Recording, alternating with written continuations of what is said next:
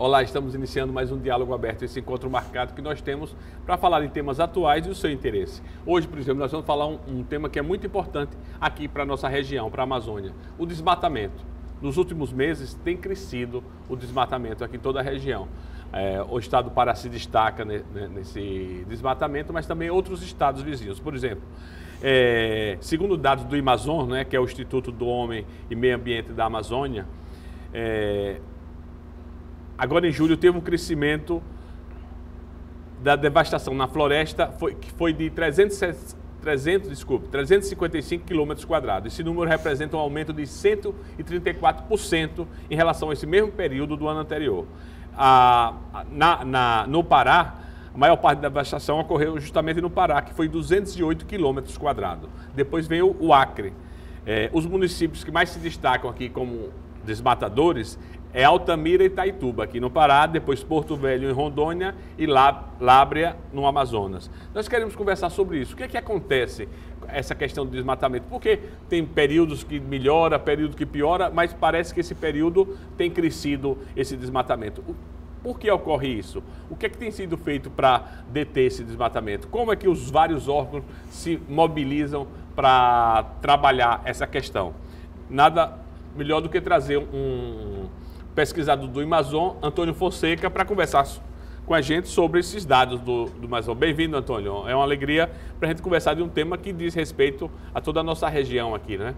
Ok, obrigado aí pelo convite. Vamos tentar esclarecer as dúvidas. Hein? Ok, então vamos começar por, por, essa pergunta.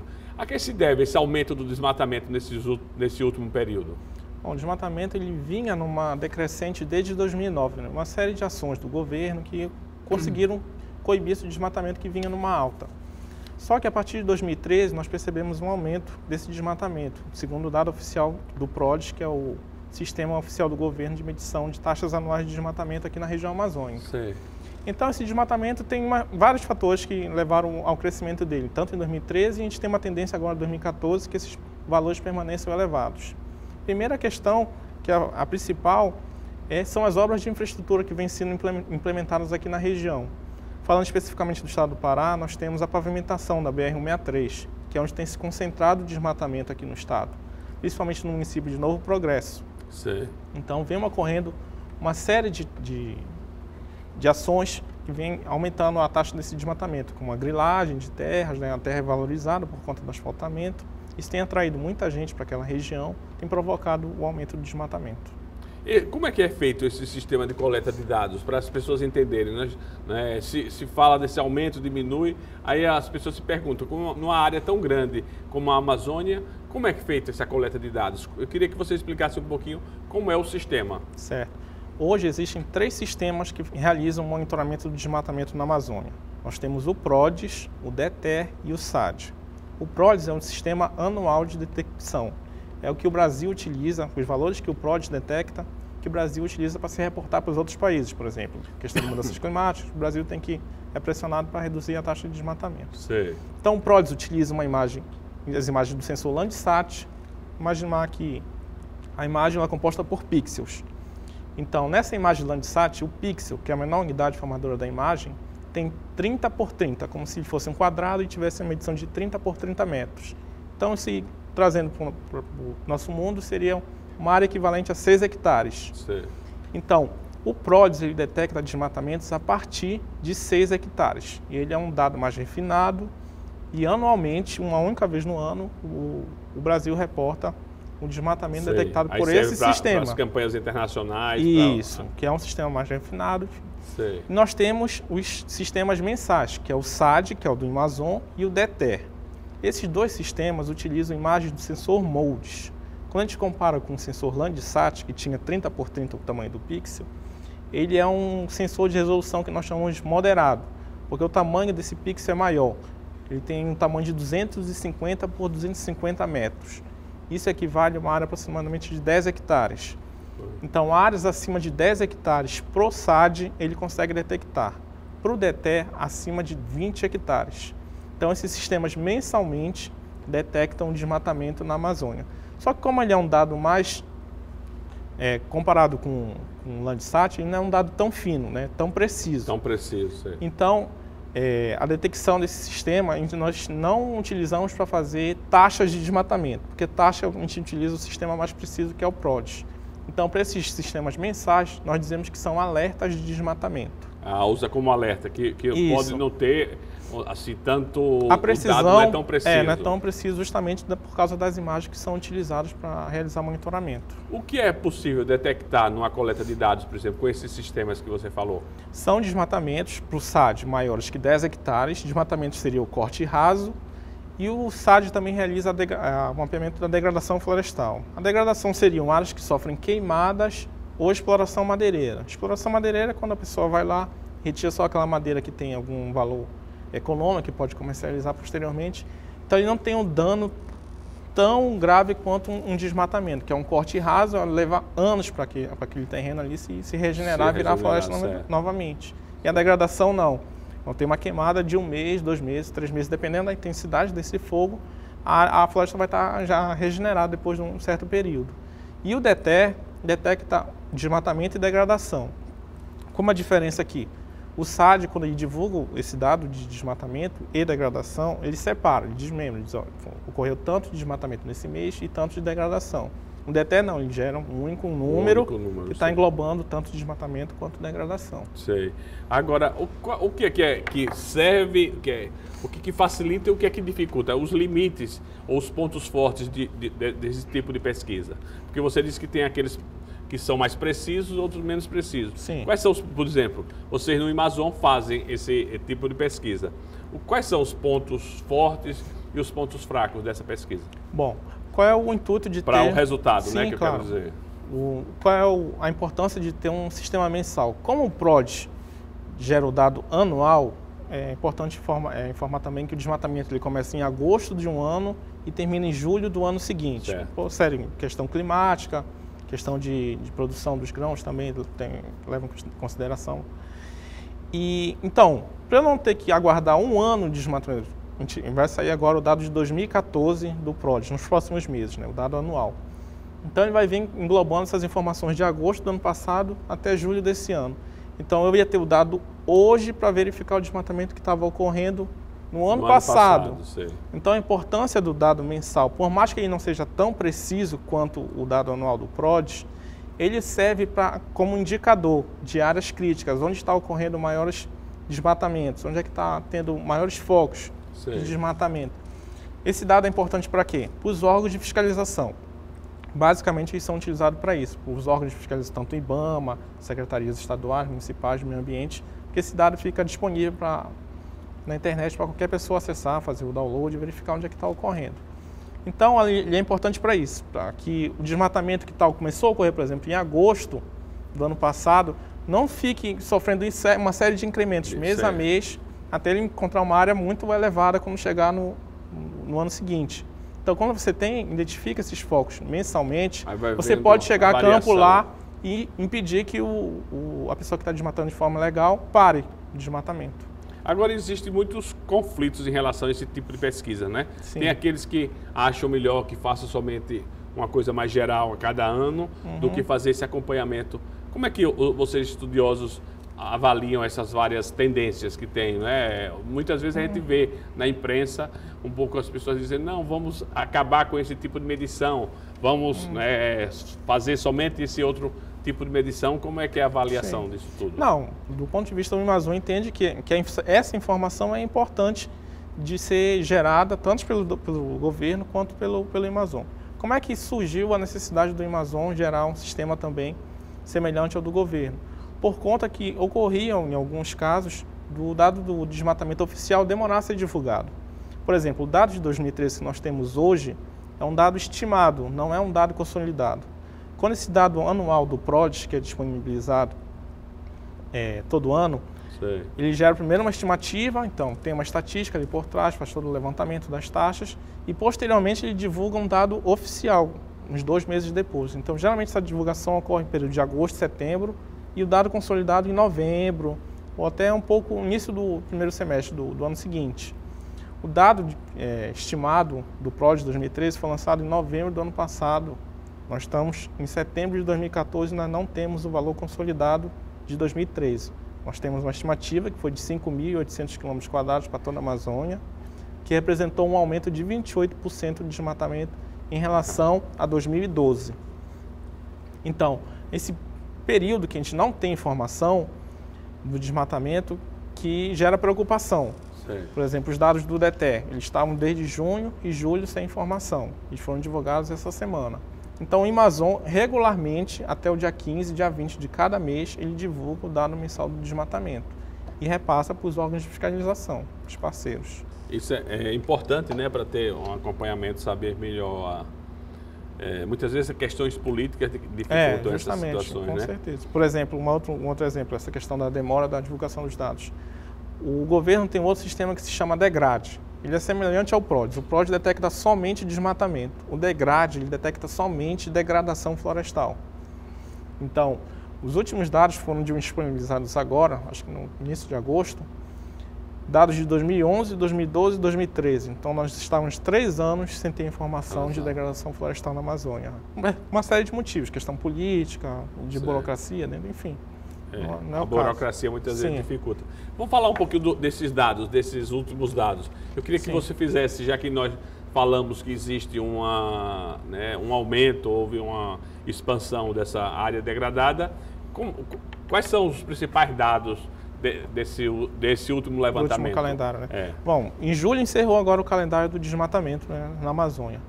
Então, segundo os dados do SAD, Sistema do Amazon, teve um aumento de 2%. Então, se manteve praticamente a mesma taxa de desmatamento que ocorreu no ano passado. Então, ano passado nós tivemos um pico de desmatamento que vinha numa decrescente, em 2013 teve um aumento. E esse ano. Isso você está dizendo em toda a região, né? Em toda a região. Certo. Inclui também claro. os estados, principalmente eu vou falar aqui no Pará. Né? É, depois a gente fala do Pará. Sim, então 2013 teve um aumento. Em 2014 nós tivemos, manteve essa taxa de desmatamento, que foi em torno de 2007 ano passado, segundo o SAD, e esse ano nós tivemos 2044. Então praticamente se manteve. Teve uma pequena elevação de 2%. Então, mediante a isso, vamos entender as limitações do sistema, mas também projetar alguma coisa para o futuro.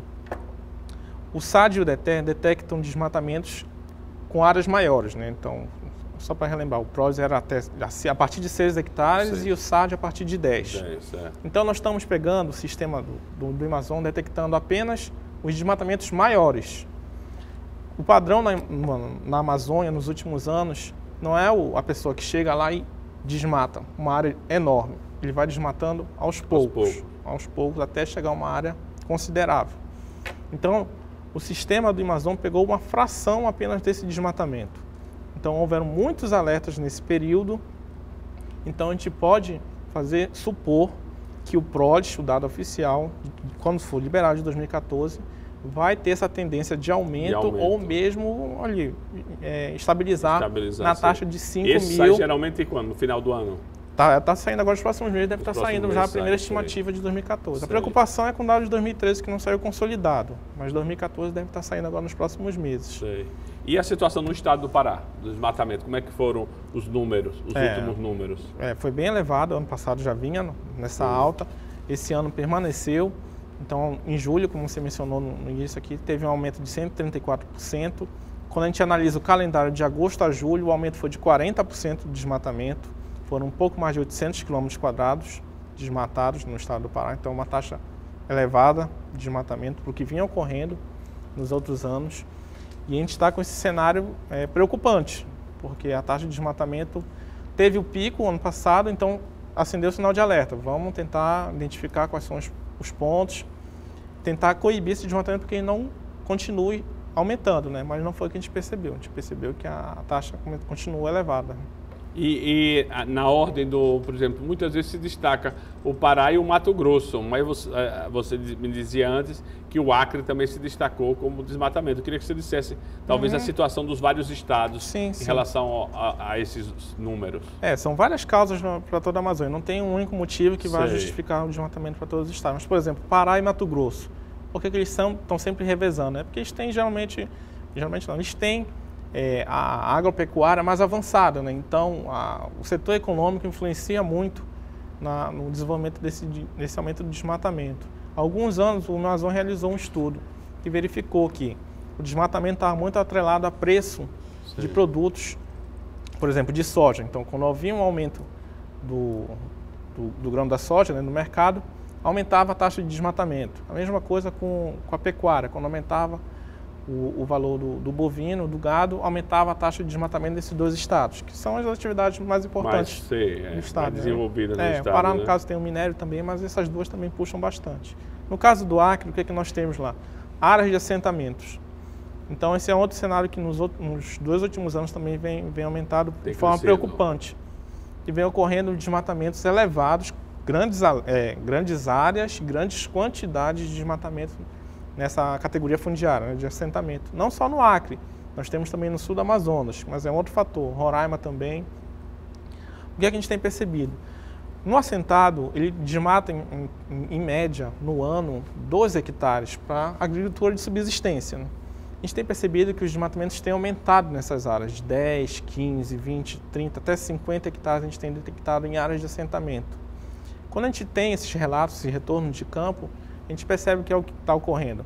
Está chegando um grande produtor ou alguém mesmo interessado em comercializar até, começa a comprar, adquirir esses terrenos dentro de áreas de assentamentos, não pode ser comercializado, mas ele consegue mas, adquirir. É. E aí ele começa a desmatar, porque é aquela velha história que tem na Amazônia, que para garantir o, o terreno ali como sua propriedade, a pessoa vai e desmata e diz, olha, não, opa, tem um pasto ali, aquele terreno me pertence. Então tem ocorrido muito essa dinâmica nos assentamentos no Acre, Roraima e no sul do Amazonas. No sul do Amazonas, esse desmatamento tá, a gente chama de vazamento.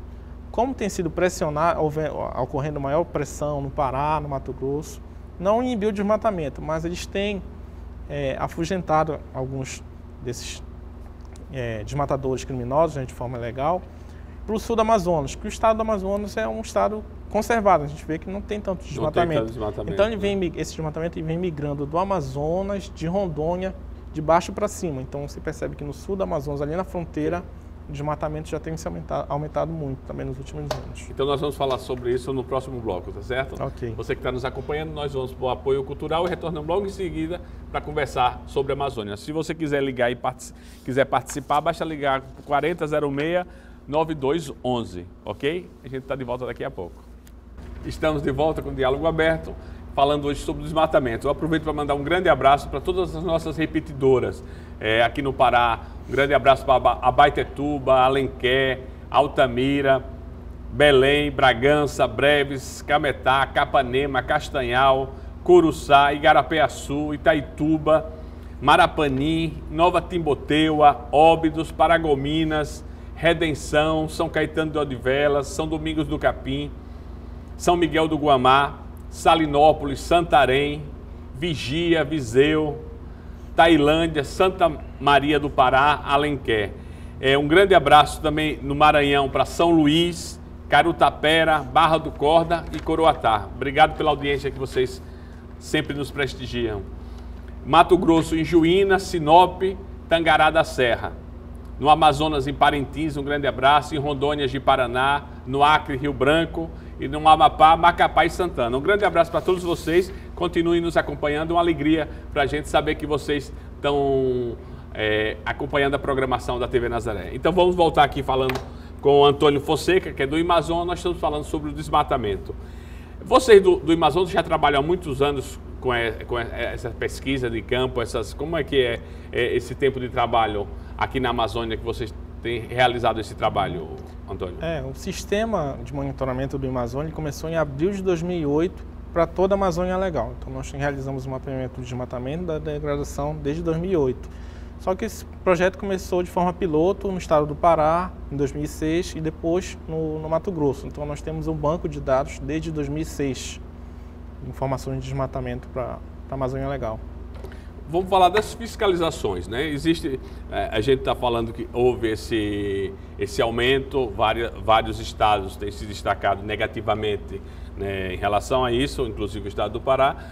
Mas como é feita essa fiscalização? Como é o controle? Como é o contato que vocês têm com essas várias, é, essas várias regiões para entender como é a situação real? É, Bom, depois que o dado ele é gerado, gente, nós temos as informações de alerta de desmatamento para toda a Amazônia, a gente tem uma parceria aqui no estado do Pará com a SEMA. Então, o dado ele é disponibilizado de duas formas. A Secretaria de Meio Ambiente. A Secretaria Estadual de Meio Ambiente. Certo. Então, nós geramos um boletim, com, que é um relatório informando o desmatamento dos estados que houveram desmatamento, os municípios que mais desmataram, as unidades de conservação, assentamentos e cobertura de nuvem na região no período do monitoramento. Então, é gerado esse boletim e é disponibilizado os dados em formato shapefile, que é utilizado no, sistema de informação geográfica, para você é, analisar espacialmente onde está ocorrendo o desmatamento. Então, essa informação ela é encaminhada para a Secretaria Estadual de Meio Ambiente através de boletins municipais de desmatamento. Então, para o caso específico do Pará, hum. nós geramos um boletim para cada município onde ocorreu o desmatamento, dando a localização precisa desse desmatamento para o município ir a, campo fazer a fiscalização.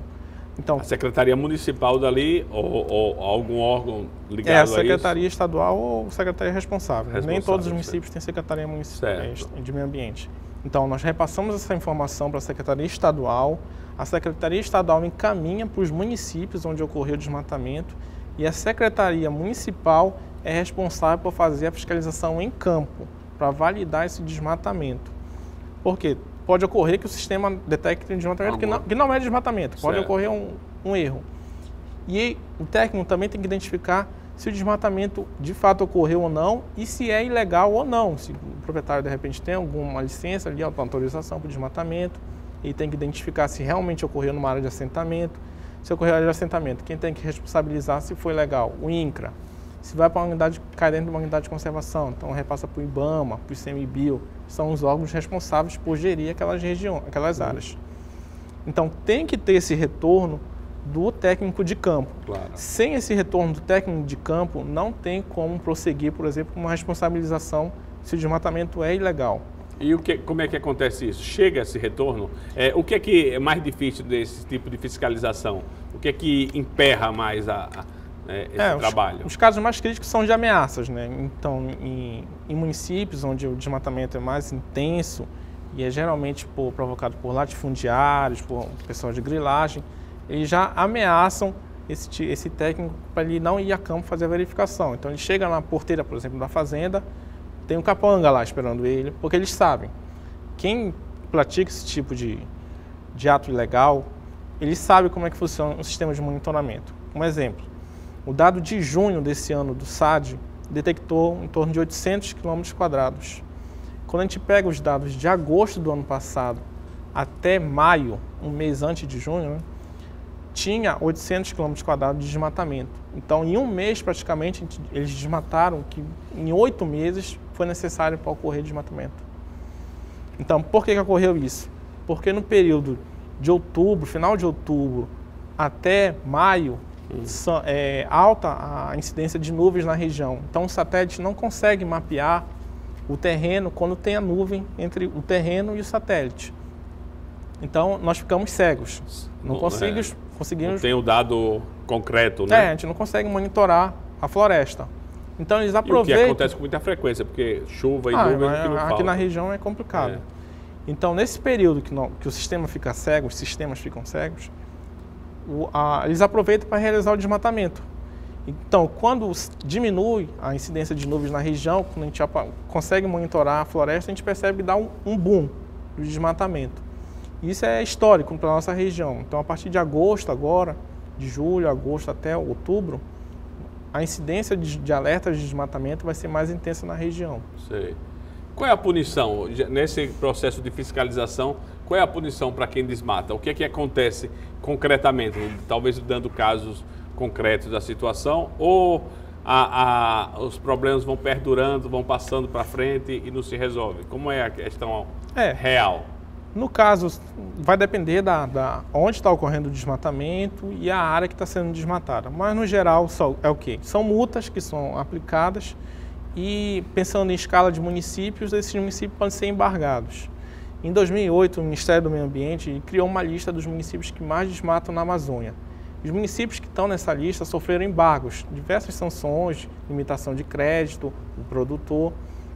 Então, ele só vai reduzir, ele só vai poder receber esses benefícios do governo se reduzir, se reduzir o desmatamento. E quando ele sair da lista, aí o governo concede, é, é, favorece né, de forma econômica. E existem exemplos é, positivos em relação a isso, Sim, né? Sim, Paragominas é o caso mais exemplar, que era um, era um exemplo de desmatamento e virou um exemplo de, de município verde, né? Que, inclusive o governo estadual criou um projeto baseado nas ações que ocorreram em Paragominas. Os municípios verdes, a gente fala Isso, mais para frente. Sim. Isso é interessante porque mostra a responsabilidade do, do governo local, né? Sim, da, sim. Quer dizer, essa parceria entre governos estaduais e governos municipais são fundamentais, são importantes para resolver, porque se, se tem um exemplo concreto, Paragominas podem ter dezenas, centenas de, de exemplos concretos de, de, pessoas que se comprometem a, a levar para frente a resolução do problema, né? É, com certeza, é uma cadeia de responsabilizações aqui, né? Então, cada um, no caso, o Amazon, o governo, geram um dado de desmatamento tão informando,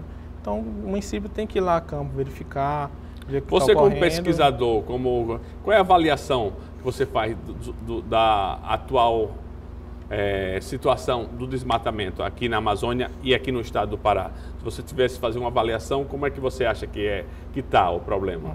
A avaliação geral eu considero preocupante porque a gente vinha com uma tendência de queda, teve um aumento ano passado, provavelmente vai ter esse ano. E o, o Brasil ele tinha uma meta de, de taxa de desmatamento. Então a meta até 2016 vai ficar em torno de 3.500 quilômetros quadrados de desmatamento anuais. O ano passado nós tivemos 5.800 e esse ano a gente tem uma projeção, através dos alertas que nós geramos, de chegar em torno de 6 a 7 mil quilômetros quadrados. É sério, né? Então a gente está praticamente o dobro da, da estimativa que a gente tem para daqui a dois anos. Certo, então. Então, de uma maneira global, o cenário é, é preocupante. No Pará, tem várias iniciativas.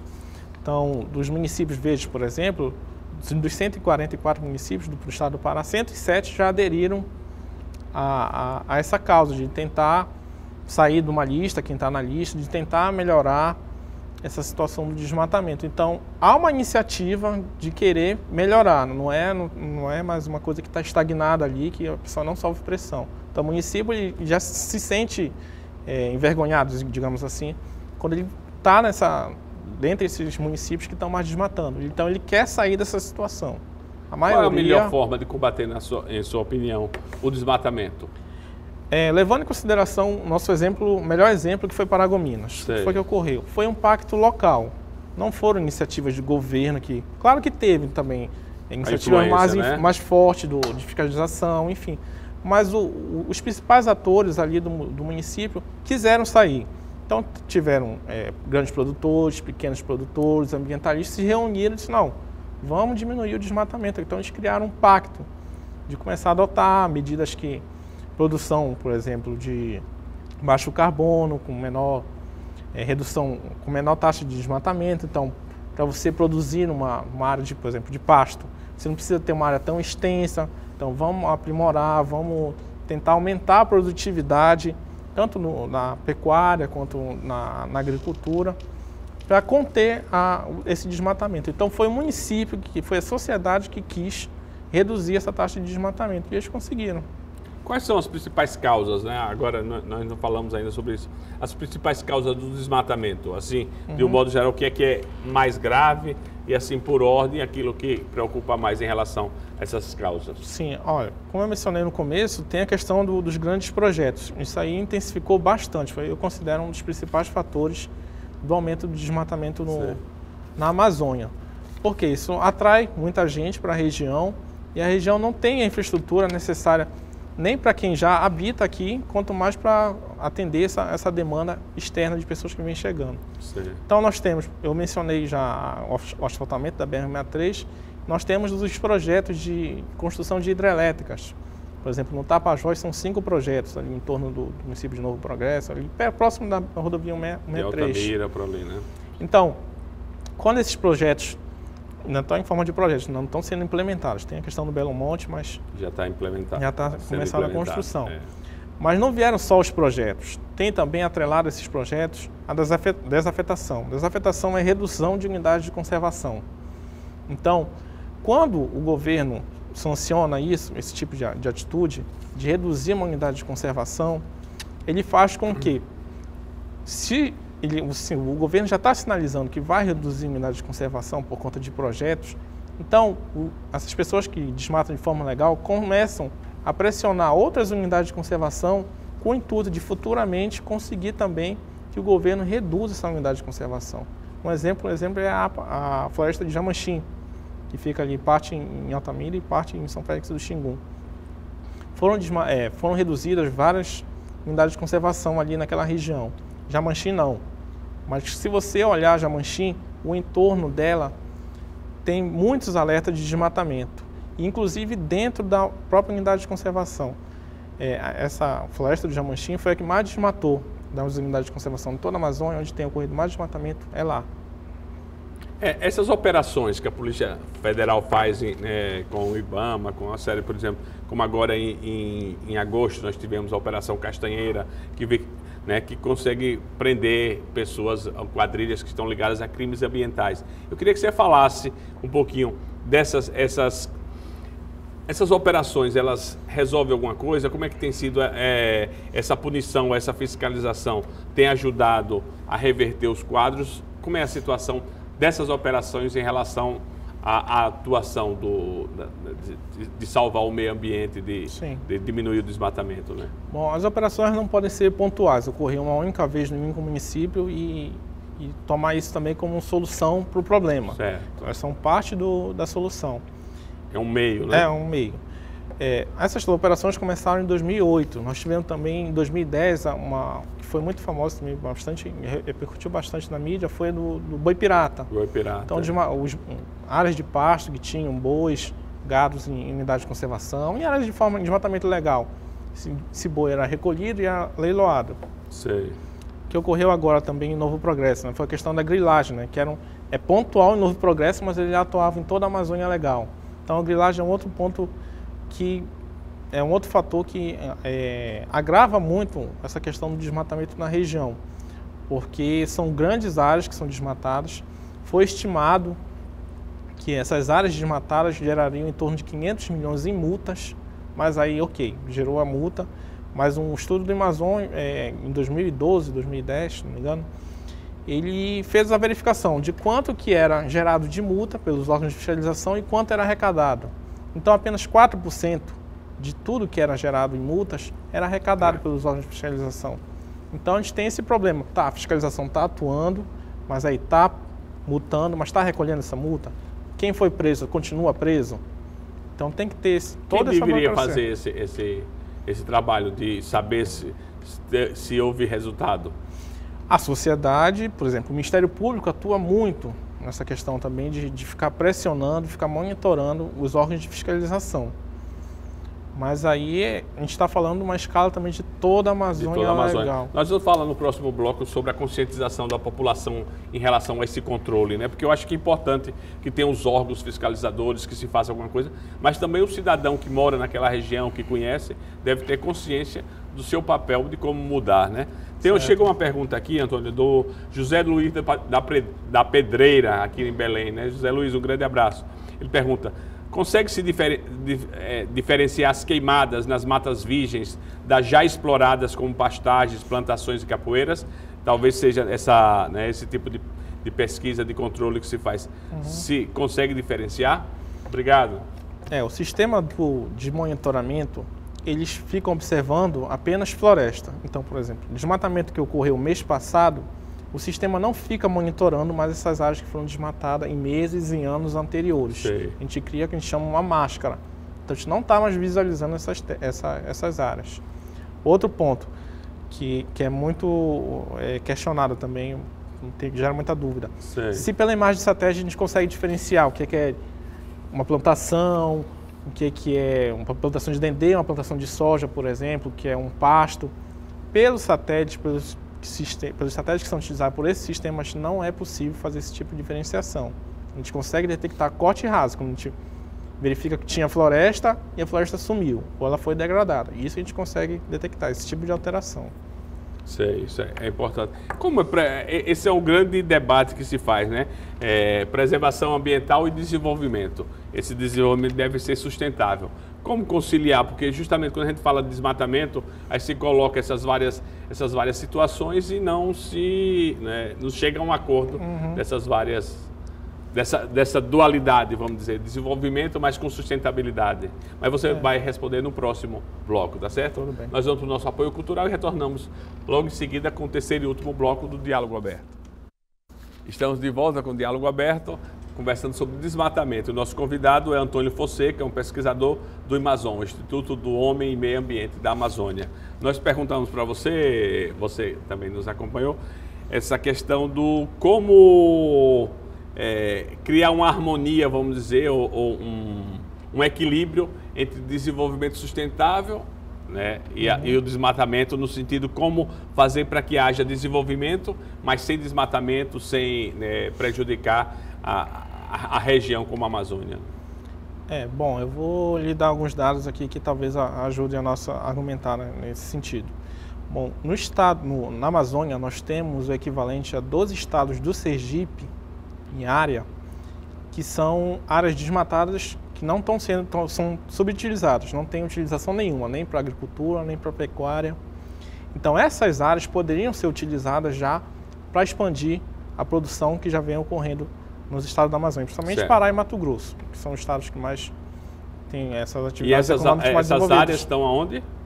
na toda a Amazônia, distribuída de forma toda a Amazônia. Certo. Então aí teria que ter a ação do governo para quê? Para acomodar as atividades econômicas nessas localidades, nesses terrenos onde já tem o desmatamento e a área está lá praticamente abandonada, e aumentar a eficiência da produção. E também explorar alguns potenciais. Por exemplo, dar um exemplo do Dendê, aqui no estado do Pará. Sei. Só no entorno aqui de Belém, nós temos uma área equivalente a 10 milhões de hectares já desmatados com potencial altíssimo para a plantação de dendê, para a produção de biocombustível. Hoje nós temos uma área equivalente utilizada para dendê de 107 mil hectares apenas. Então, de 10 milhões, nós temos 107 mil utilizados. Então, esse dilema de desmatamento e desenvolvimento sustentável, ele pode ser muito, está muito atrelado à falta de informação desse tipo de informação. Tipo, é. E aí teria que ter a, o, o, o governo para direcionar políticas públicas para melhorar a produção, direcionar o, a eficiência da produção, no caso, para essas áreas. Quer dizer, é, essa parceria entre essas várias realidades é necessária para poder é, que essas informações cheguem ao governo, do governo consiga passar para os estados, para os municípios. Quer dizer, tem que ter uma parceria grande, né? É, eles têm que estar, tá, tem que estar tá alinhado. O objetivo tem que estar tá alinhado para poder reverter um Sim. quadro que ainda é grave, né? E aí tem, e tem que ter, tem que dar condições também. Não é só chegar e cobrar para o produtor, para o município ou do estado. Certo. Tem que dar as condições de financiamento, distribuir crédito.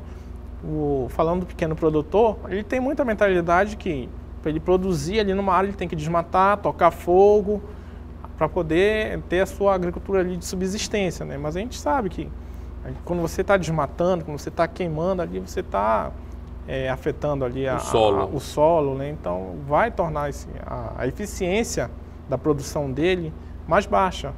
Então tem que ter essa, esse cuidado de transmitir a informação de forma correta para desmistificar né, essa mentalidade que, que muitos é. têm sobre a Amazônia, sobre desmatamento. É, você tocou no ponto que eu acho que é importante a gente falar dessa conscientização da população, tanto do pequeno empresário, quanto do médio, quanto do grande, da, da população de um modo geral, né? Como é que você acha, em que pé está essa conscientização da população? Houve um crescimento, um amadurecimento em relação à defesa do meio ambiente, em relação a, a combater o desmatamento? Como é que você analisa esses fatos vendo, por exemplo, né, essas estatísticas onde o número de desmatamento cresceu, onde a situação muitas vezes piora em determinadas áreas, é, é, períodos do ano. Como é a, a situação uhum. da conscientização? Eu acho, eu acho, que melhorou. Nos últimos anos já tem melhorado. A, a população, a sociedade, de uma forma geral, tem pressionado mais os órgãos de tanto o governo, os órgãos de fiscalização, enfim, os governantes de uma maneira geral. E assim, eu vejo que a sociedade também não pode só ficar no papel de cobrança, de pressão, ele tem que tomar alguns, alguns tipos de atitudes. Por exemplo, nós Por temos, exemplo, temos os produtos que são oriundos aqui da nossa região, né? Então, consumir aqueles produtos que são que tem um selo que de, um selo maneira de qualidade é, sustentável, que né? tem origem comprovada. Você não vai, por exemplo, comprar um- uma carne que vem de uma original de uma fazenda que desmatou de forma ilegal. Então, a sociedade tem esse tipo de controle, ela pode tomar esse tipo de atitude e já já está prejudicando o cara lá na ponta que está realizando desmatamento ilegal. Em relação à denúncia, como é que ela pode denunciar?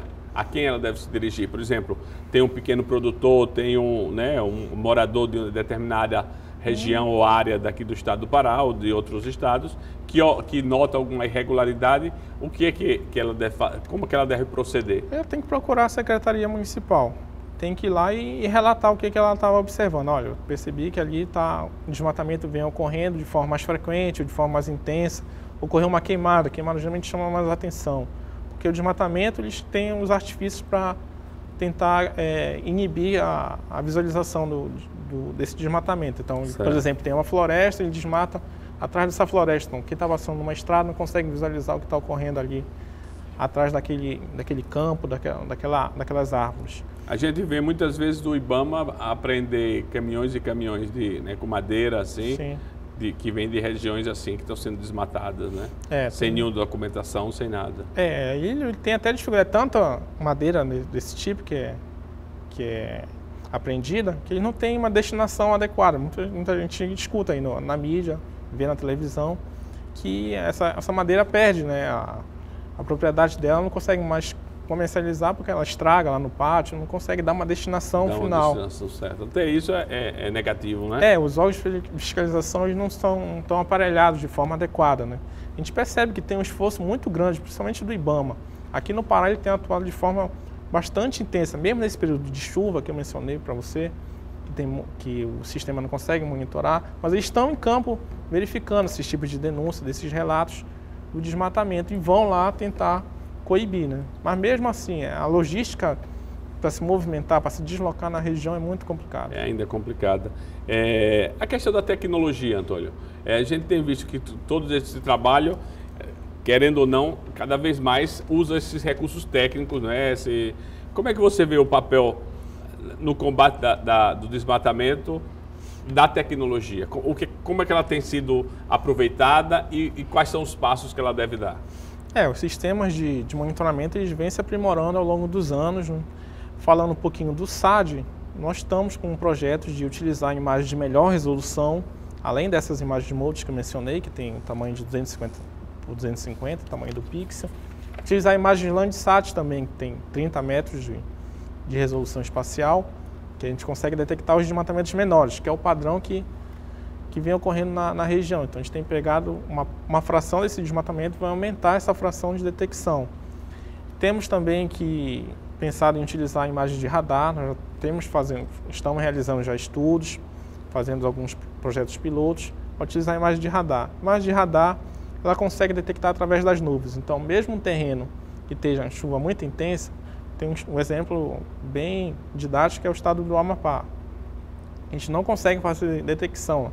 Nos últimos cinco anos a gente conseguiu detectar um alerta de desmatamento. Ah, é? Porque que é- se deve? fica o tempo todo coberto por nuvens. é. Quanto mais próximo da linha do Equador ali, a incidência de nuvens é, mais- muito maior. Mais difícil. Então o radar já serviria para é, corrigir essa limitação do sistema. Então o governo também tem projetos também de utilizar imagens de radar. Vai aprimorar. A informação de desmatamento já existe, ela, tá, ela é bem consolidada, então não é só também a falta de informação de desmatamento. Isso aí é um problema praticamente superado. Superado, né? Porque- é na outra ponta agora que a gente tem que é, ter mais um gasto de energia para tentar solucionar esse problema. Isso é importante. Vamos falar um pouco do, do Amazon, do trabalho que o Amazon faz. Como é que, que ele tem atuado aqui? Qua- qua- quais são as principais atuação, atuações né, de- desse do Amazon e que medidas que vocês, como, como estudiosos também vendo a situação, que medidas vocês acham que seriam cabíveis para diminuir o desmatamento? Bom, o Amazon ele tem o objetivo dele, a, a- a missão dele é gerar informações através de dados científicos, de trabalhos científicos para a Amazônia Legal. Sei. Então ele sempre se pauta no, no, no argumento científico para gerar as informações que vão ser subsídios para a tomada de decisão de políticas públicas. Então o Amazon, o papel dele é esse, gerar informação e promover o debate, tentar conscientizar a população, a sociedade civil, do que está ocorrendo na região e pressionar os tomadores de decisão, os políticos, governantes, para que eles tentem amenizar, hum. pelo menos amenizar o problema do desmatamento na região. Sei. O propósito é chegar ao desmatamento zero. E que medidas vocês acham também, porque com a experiência, né, com o estudo, que medidas vocês acham que seriam as medidas prioritárias que o governo, é, em nível federal, em nível municipal, mas também a sociedade organizada como um todo, deveria tomar em uhum. relação ao desmatamento? Não, a gente vai ter que retornar para Paragominas. É o que deu certo, é o que gerou resultados, é o que está consolidado. Então, a, o, o obstáculo seria replicar o que foi feito lá, o pacto que foi realizado lá, para as outras localidades, para os outros municípios. Claro que vai ter é, situações diferentes, o município não é igual ao outro, então vai ter que adequar o que ocorreu lá para, os outros, para as outras regiões. Mas o caminho acho que é esse. Ele não, não vem de cima para baixo, não é o governo federal, estadual, tem que começar da sociedade.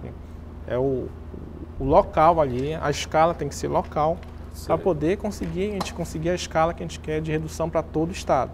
Então tem que começar do município, da talvez, sociedade. Talvez nem todos saibam esse, essa questão do, do projeto Municípios Verdes, né? Queria que você dissesse um pouquinho e dissesse por que que, que é, para, é, como é que se chama? Paragominas se destacou nesse sentido. Sim, bom, Paragominas, como eu mencionei para você, ele entrou em 2008 né, na lista dos mais desmatados. Em 2010 ele conseguiu sair por conta desse pacto, né? É um termo de, né, de é, uma, conduta. É, não é uma coisa oficial, ele não está, não assina, não é lei, não são leis que estão criadas, não, é com o que tem ali no município, é a mesma, mesmas leis, mesmas mesmos órgãos de fiscalização, não entrou nenhuma entidade, nenhum, entrou as entidades parceiras para auxiliar no processo de conscientização da, da sociedade para a necessidade de se realizar o pacto. Né? Então, o, o projeto Municípios Verdes do, governo, do governo estadual, ele tentou expandir, justamente fazer isso que eu, que eu mencionei para você, de tentar dar maior escala, né? Então, Sei. replicar o que foi feito lá no município de Paragominas para os outros municípios basicamente o trabalho é de conscientização. Aí claro que é, os secretários municipais, os prefeitos, têm assinado um termo se comprometendo a atingir as metas que são estabelecidas no acordo nos pactos locais.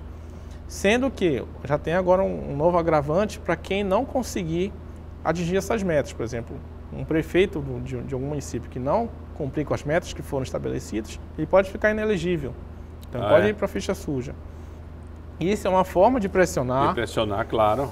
Para que eles possam a, atingir os objetivos que foram estabelecidos. Agora, só, só o município de, de Paragominas que conseguiu essa proeza, outros municípios não, também? Não, outros municípios saíram. Eu Sei. não tenho de cabeça aqui, mas que três, três municípios, no, no, todo ano, o, o Ministério do Meio Ambiente ele faz uma atualização. Certo, e mostra aquilo, o que houve de... Né? É, quem entrou e quem saiu. O Brasil Novo, por exemplo, acho que saiu também. Tailândia eu não recordo se mas acho que em Tailândia também.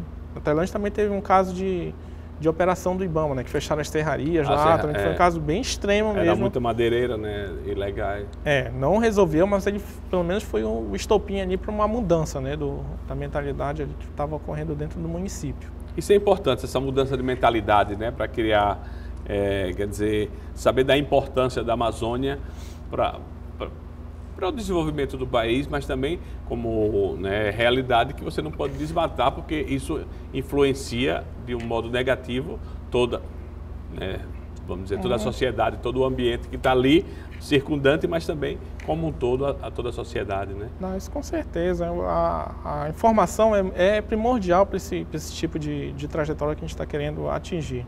Então a Amazônia está em 60% do território. Tá? Então é, 12% da população, e esses 12%, desses 12%, 80% da população que vive aqui se concentra na, na, nas grandes cidades. Nas grandes cidades. Então é. a gente tem todos os problemas que as grandes cidades têm, a gente tem que ter esse sentimento de indignação, de realmente tentar querer mudar. Então o desmatamento é uma coisa tão ultrapassada, né, de, quando, a gente tem, quando a gente tem acesso a esse tipo de informação, a gente percebe que é uma coisa tão desnecessária. É. Tem os casos, por exemplo, os, a gente falando ainda há pouco de, de produtividade, melhoria da eficiência, todos os locais onde ocorreu a restrição do território, se teve um ganho de produção de eficiência. Um caso, por exemplo, é lá de, do Oriente Médio, que eles não têm acesso à água. Então, eles criaram, conseguiram desenvolver métodos para dessalinizar oceano. Então eles conseguiram, eles correram atrás por causa da restrição que eles tinham no território deles. É a mesma coisa aqui com o desmatamento. Vamos restringir o desmatamento. A gente já tem a área aqui necessária para o aumento da produção de vocês. Então vamos melhorar a eficiência com o que já tem hoje. O que né? tem, né? E isso tá, cria responsabilidade geral para cada pessoa e depois para toda a população, né? Com certeza. É, estamos chegando ao final do programa, eu acho que, que foi muito interessante, porque nós falamos de temas muito importantes né, para a vida da sociedade e aqui na Amazônia mesmo. E deixa uma palavra final que você queira se dirigir, ou talvez co querer colocar algum ponto importante que a gente não tratou nesse nessa bate-papo. Eu que queria agradecer o convite, o Amazon está sempre disponível para esclarecer esse divergências, dúvidas que tem nesse debate que envolve desmatamento. Não, o recado que eu deixo é a pessoa, a sociedade buscar as informações que estão disponíveis. Né? A gente está num cenário de mudanças climáticas, né, que a Amazônia está muito visada e também é um cenário de muitas incertezas. Então, tudo que a gente tinha de estudo anteriores a clima, por exemplo, na região, questão de chuvas, inundações, a gente não sabe o que vai ocorrer daqui para frente. Então, é importante conservar a floresta. A gente tem uma biodiversidade muito grande na região. Então, a sociedade tem um papel fundamental. Claro que é importante debater, pressionar governo, mas cada cidadão tem um papel fundamental um papel, nesse, né? nessa conservação. As escolas, né, é, as universidades, todos precisam trabalhar para que cria uma mentalidade nova, né? Existe essa, essa mudança de. Antônio, muito obrigado pela boa continuação do trabalho, né? Obrigado. E a você que nos acompanhou, obrigado pela audiência, pela preferência. A gente se encontra no, se encontra no próximo programa. Até lá, um grande abraço.